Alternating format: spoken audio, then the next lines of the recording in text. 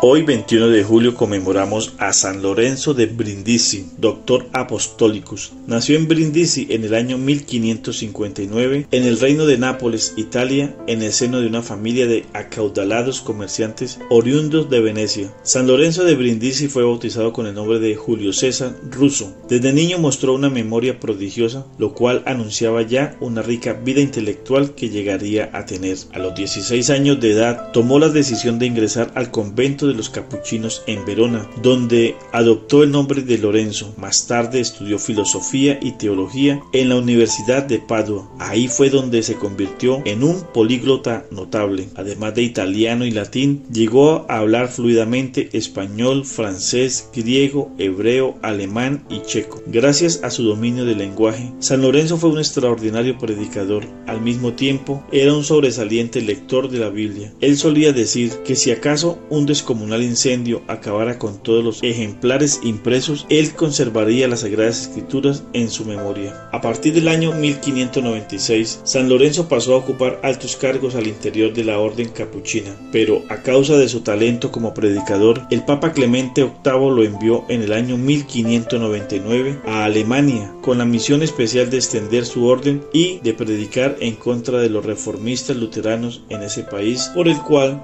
desarrolló un cariño entrañable a petición del emperador Rodolfo II, San Lorenzo acudió en el año 1601 en calidad de capellán del ejército imperial a la guerra contra los turcos. Su ejemplo de valentía se contagió a las tropas y contribuyó a la aplastante victoria cristiana en la batalla de Hungría. Al año siguiente, por unanimidad fue electo vicario general de la orden capuchina. Esto le permitió eventualmente regresar a Brindisi en el año 1604 y dedicarse a asuntos menos belicosos. Sus numerosos escritos, en particular sus refutaciones a la tesis de Martín Lutero y sus consideraciones sobre la Virgen María, fueron de gran importancia para la consolidación del catolicismo después del cisma protestante. En el transcurso de una misión diplomática, luego de entrevistarse con el Felipe de Lisboa, Portugal, falleció súbitamente justo el día que cumplía 60 años de edad. San Lorenzo de Brindisi fue canonizado en el año 1881 por el Papa León XIII y en el año 1959 el Papa Juan XXIII lo nombró doctor de la Iglesia con el título de Doctor Apostolicus. Nuestro santo de este día nos enseña la importancia de estudiar el lenguaje y los lenguajes para cultivar el don de la comunicación.